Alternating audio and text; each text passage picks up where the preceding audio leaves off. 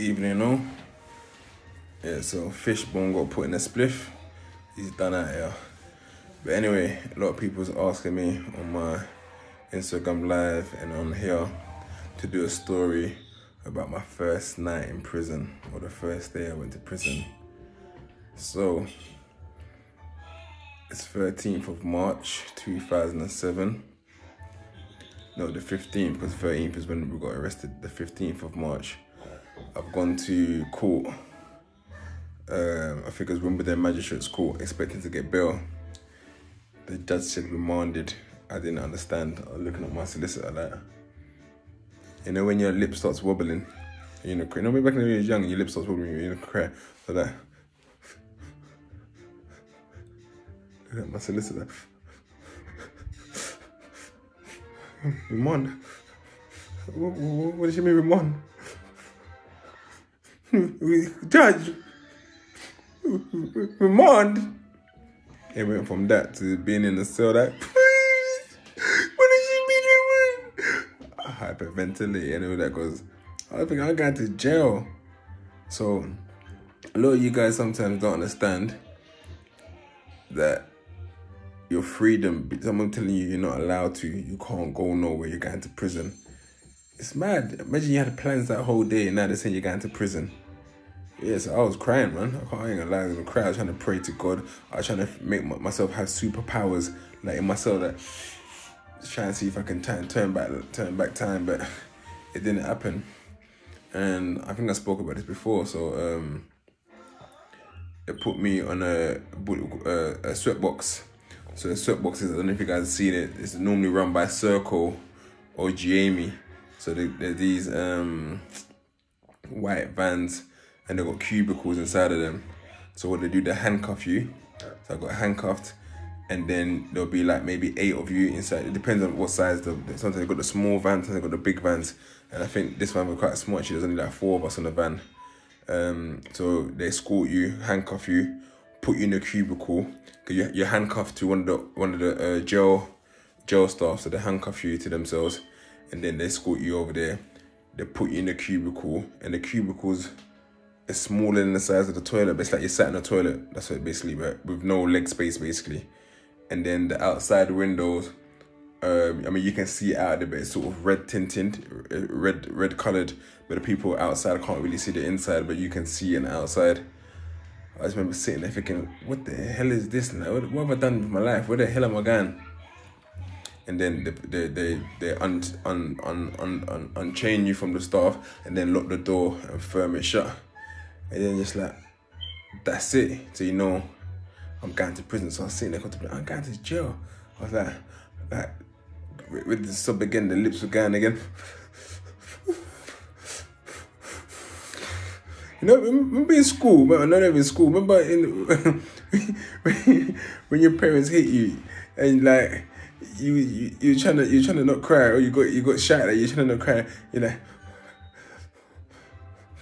and you can't hold it on. Then you have to bite, and then it just it just all let out. It was one of those ones still, but then I heard my uh, they're saying people's names, in it? They're like um, Thompson, blah, so and so, Kasanga. I'm like, yeah,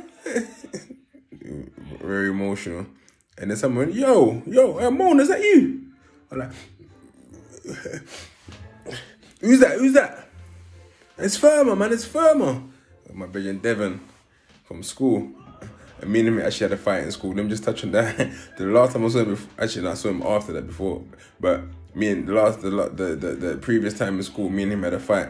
Imagine we're playing football, like I said, the baddest footballer in, in school.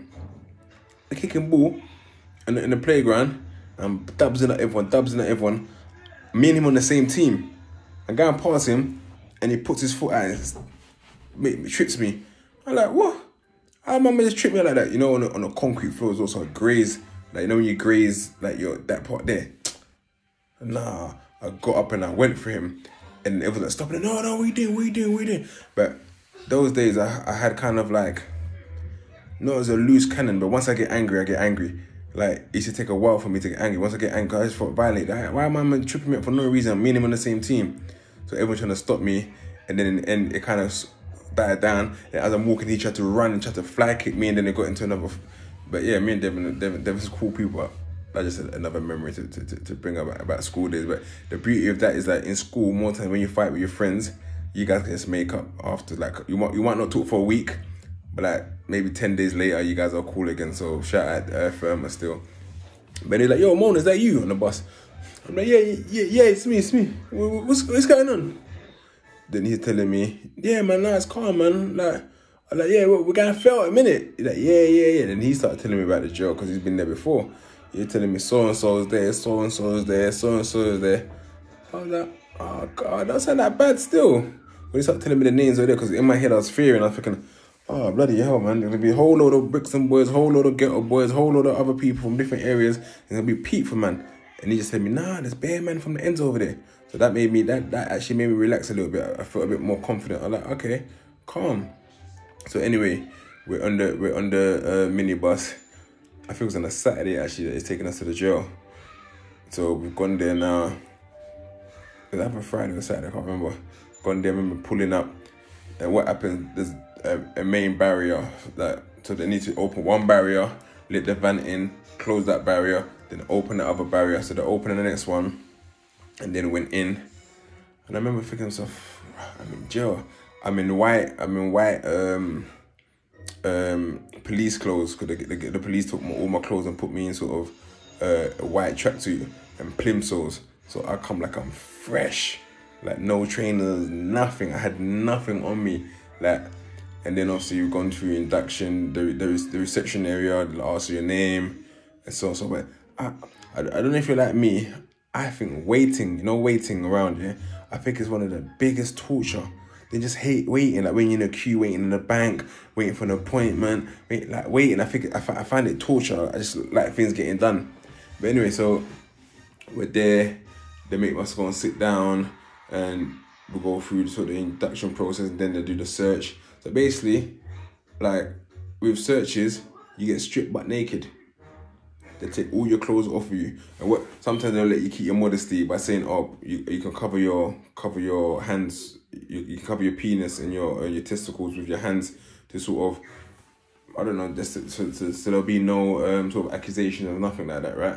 Because you never know, someone might like young men, and for them it's a turn on, right? I don't know, but they make you. Uh, some some officers will have you cover your hands, but more times that you have to lift up your hands and show what's there because they want to make sure that you're not concealed anything underneath your balls or nothing, and then they make you squat so you, you squat butt naked. So when you squat butt naked, then they make sure that you ain't got nothing um, uh, plugged up your ass because that's how people get things in. So they try to make sure of that. And then I don't think they had it at that period, but now most people got a boss chair. So a boss chair is sort of a metal detector chair. So when you sit on it, it lets people, it gives them notice of if it's anything inside of your body. So, um, well, any metal things inside their body anyway. So they've done all of that. And I felt kind of violated. I'm like, wait, not even my dad sees me naked at, my big age, and I'm gonna have these random strangers see me naked. And of course, they'll make men do it. They won't make women um, um, strip search you. But but if, if, it feels like a bit of a violation, is that wait a minute, like why are you taking off my clothes and making me take my clothes, and you can see me naked, and then they make you spin around as well. So it's a bit humiliating. I can't lie, it's a bit humiliating. So I felt embarrassed a little bit. I'm like, what's all this about, man? And in, in my book, I actually joke about it.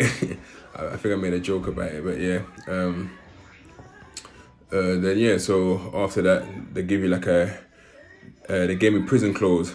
So they gave me like some, I can't remember, some grey tracksuit bottoms and a, I think like a purplish jumper. I didn't think it matched it. I, I, they gave me socks. And then the infamous prison boxers were, when you come fresh to jail though, they give you like the fresh ones. But like, you know, in jail, this is the maddest thing. Yeah, in jail, yeah, if you not got your own boxes and stuff, you actually would wear boxes that everyone else wears. So there's like they've got like prison clothes. Basically, the prison clothes it don't belong to you. So with the prison clothes, you actually have to hand it back in after you wear it. You hand it in, put it in a dirty clothes area. They take it and then they wash it, and next week they bring back more. So you could be wearing next man's boxes next week. Part of prison they don't tell you about because if you ain't got family members bringing you anything or helping or supporting you, you're gonna be wearing prison clothes. Some people try to keep the same boxes and stuff and try to wash it themselves, but more times you'll be wearing the next man's boxes.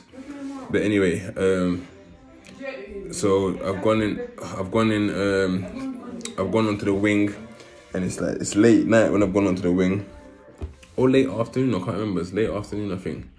Um, it's gone into the wing. Um, they gave me a bit of food from the surgery to go and eat, and yeah, it was it was it was it was like looking around. I was this looks like a youth center, um, because there's a table tennis table, there was a pool table, and um, I was looking around. I think this doesn't look like prison apart from the doors.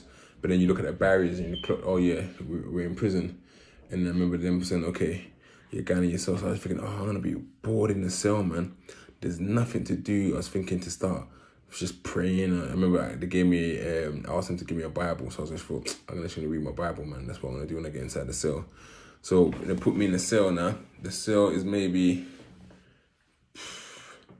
half the size of a double bedroom. It's, it's like a single room in a house, but even smaller than that. They got like, um, I had a, a single cell the first day, but on a bunk bed. So basically, the top bunk was empty, and the bottom bunk they gave me like a blue mattress. Actually, no, blue mattresses are just coming to force. Them you have some sort of green thin mattress, and then the bed is sort of like a, a just a metal frame with like a metal sort of uh, what do you call it? How can I call it? No, the netting. It's like a metal sort of basket type sort of uh, layout on top of the what do you call it? As and then you put your what do you call it? You put your um, mattress on there, and then the pillows with some dead green soft pillows, but they also introduced the blue pillows as well. But the pillows are mad. Everyone always complains about um, the pillows giving you spots. And it's, it's very true. You find you start finding you got little you get little spots in that on your back and that as well. Like you're not sure what creatures are in there, but everyone seems to get these little spots in it. But after a while ago, I think once your body gets used to that sort of bedding or whatever. Um, so I went in the cell, then sat down, put my things down. They gave me bourbons, so I just boxed the bourbons and then and I turned around I thought, oh, each time we got a TV. I was like, raw. So I thought, you know what? At least there's something there. So um, put the TV on. And yeah, yeah, it was a Friday that I got there because I remember putting the EastEnders on. I was like, oh, fucking at least I can get watch EastEnders. But these times I don't watch EastEnders for years. So, and more times than Joe, man, them Joe, don't let me lie to you, man, them Joe love their soaps, you know. Hollyoaks, Emmerdale, Corrie, even neighbours and them man get get get watching that as well. Let me tell you, let me tell you how well, the Simpsons people bang out bang off the Simpsons. The Simpsons that very popular in jail. Whenever a new series comes out, someone was oh this like when Homeland Homeland was a big hit in jail as well. But anyway, so my first night, watched EastEnders, watching a few shows and that. But every time I'm trying to look for my phone, you know, we we so we get so used to a phone. So imagine right now, someone takes your phone and you ain't got your phone for the rest of the day, you're gonna be trying to pat yourself looking at your phone and think, oh fucking I ain't got a phone. Then I was thinking about my missus at the time as well, kind of missus um at the time it was um my bedroom uh, nerves, it was um his uh, partner's um uh, best friend at the time and I, was, and I was dating her. And she was, she was, a, she was a good girl to be fair. Like she she um what do you call it? Like a week after that, that bought me some stuff, bought my clothes in, got me um bought me a CD player, bought me my music and it as well. So yeah, she was, she was cool people. Um and then what what happened? Yes, at midnight the TV got switched off. The TV was like pissed. I remember I was watching a show, I think, ah, oh, the TV got switched off. What the TV? So basically the officers goes around at midnight and switch your TV off. So basically you have to have a clean bedroom. So the next morning, what they do in the morning, they come to your cell first thing in the morning about I think it was seven thirty or something like that, eight o'clock, and then you have to be up. You can't be sleeping in your bed. And I think they try to teach you about getting up and sort of get you off the whole laziness, just sleeping around. Because that's what happens. A lot of people just sleep, sleep, sleep, sleep till about whatever time on the roads, and then they're not got the productivity to go out and get a job or go. So it's about trying to get you up in the morning. So what they do, they come in the cell, check that your bed's made, check that your skirting's clean. They'll do all of that, like trying to rub, rub the table to see there's no dust. Check your TV, check the floors, and you have to get hundred out of um hundred points. If you get anything below hundred, I don't know. I don't know if they still do it now, but at that time they switch off your TV. So that first night I was pissed. I was like, oh and that's when it really hit me. When the TV was off, it was just me and my thoughts. I was thinking, what have I done with my life, man? I'm sitting in jail right now. I'm thinking, oh, fucking hell. I'm thinking of my family, thinking of my girl at the time, thinking of my football career. It's thinking of everything that's going on. I lost um, my friend a few months before, a month before that, Javari, he was killed. And I, I, I was just like, oh, what is going on in my life, man? And then you sort of just sit there thinking about all the things you could have been. I went back to my childhood, what would I have changed? I went back to when I first joined the Peckham Boys, like had I just gone home that day, I was thinking about my football career, I was thinking about all these sort of things, but it's too late. You can think about them, but it's too late. You can't turn back time. So some of you young people who are now, who are here listening and watching, who are 14, 15, this is the time where you do your thinking. Don't do your thinking when it's too late. Do your thinking now. Look at the people around you and say, tell yourself like, let me be honest. Does my man bring any positivity to my life? Does he bring any positivity to my life? What does what he encourages me to do? Will it benefit my life or could it get me killed? Or could it put me in danger? Could it get me stabbed? Could it get me arrested? Those are the sort of things you need to look at. I mean, they'll still be your friends, your friends, your friends, but you have to look at it realistically and say, you know what? And look, the fun, what, what, what's so funny is this, yeah? Like I always say, whoever has ears, listen, yeah? Most murder cases get solved. There's very rare ones that sort of like, they go, but most murder. So when you're going to ride out, I'll tell you what, let me tell you something, yeah? Britain, yeah, has the most CCTV. It might be China now, but at one point, Britain had the most CCTV in the world. The small little Britain our country, small little Britain, had a more CCTV the world. So even if you think you're getting away with something, yeah, it's gonna get traced back to you. So you might have started your journey to go and ride out. Let me give it. You just, let's say you started at Clapham Junction, yeah. Let's say you guys are in a Mendes. Someone's gonna spot the car before you guys burn it. Someone's gonna spot the car.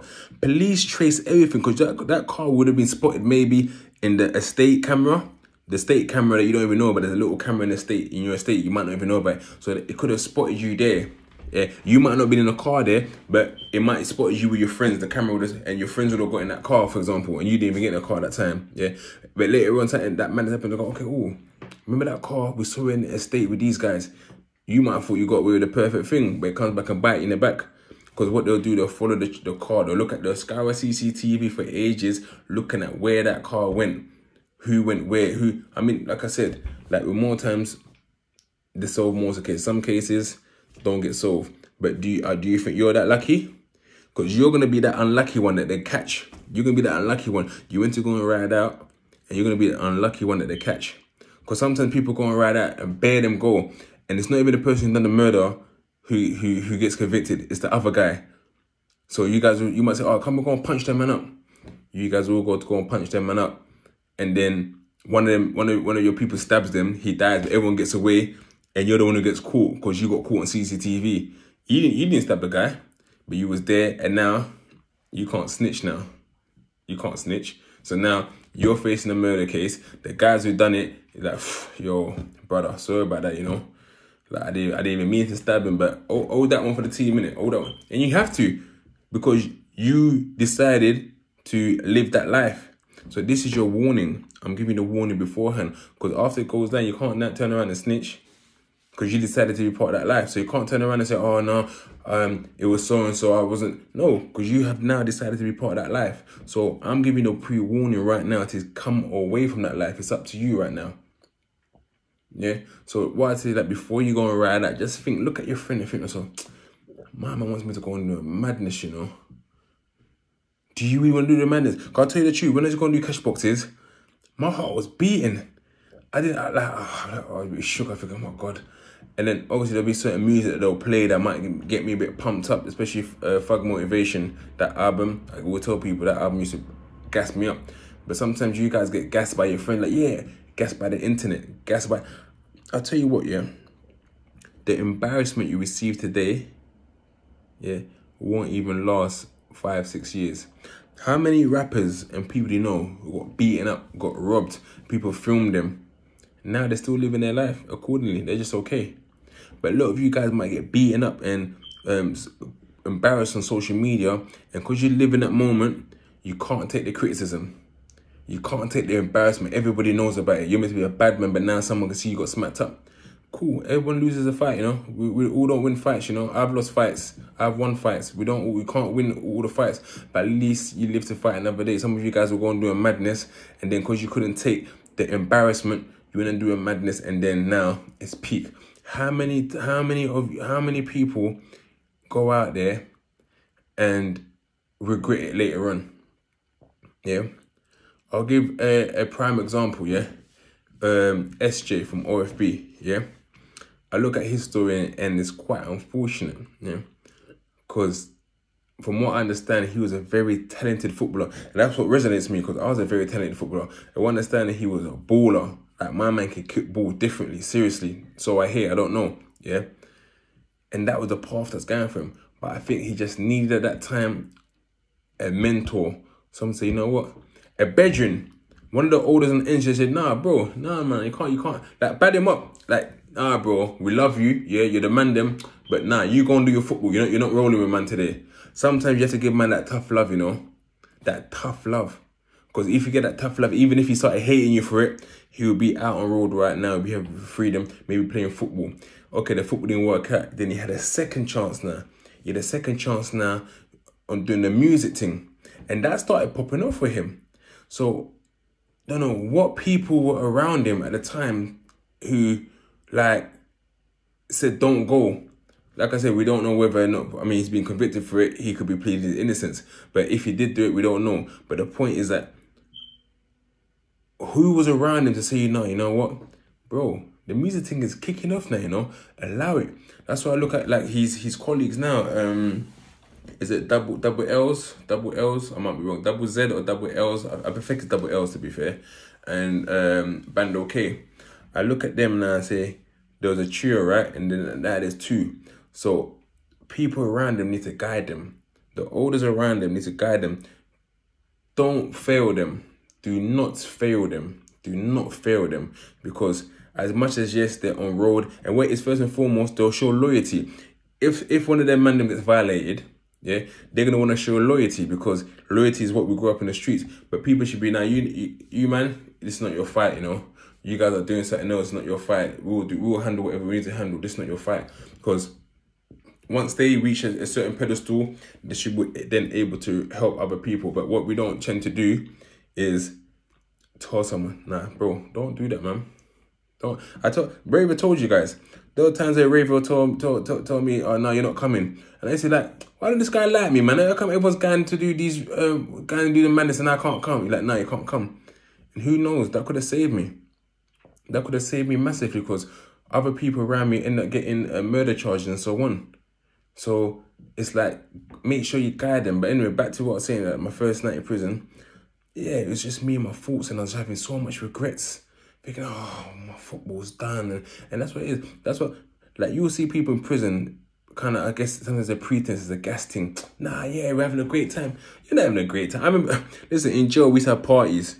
yeah, honestly, we used to have parties. Yeah, someone have uh, weed. I don't smoke, but someone I, me, I'm just high off life. I'll be honest, I used to be high off life, but I like a good vibe. So someone would um, have weed.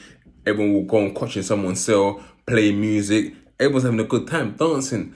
But at the time, you start enjoying So when you look around, you're like, I'm just in here dancing with bare man them. Where's the girl? No girls. There's no girls.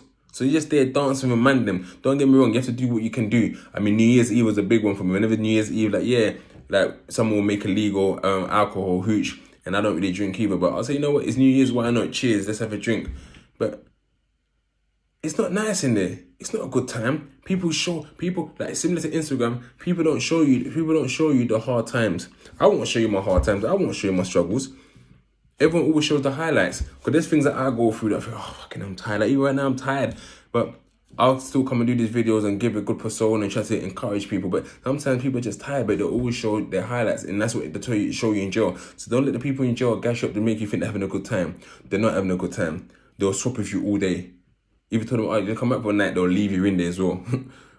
if they tell you, oh, okay, okay, let's do a thing where let's swap for the night, but then you have to come back, they're not coming back, they're leaving you in there. they're leaving you just like you're safe. Yeah. So back to, back to first night in prison, I regretted everything I'd done. I was like, oh, I fucked up my life, man.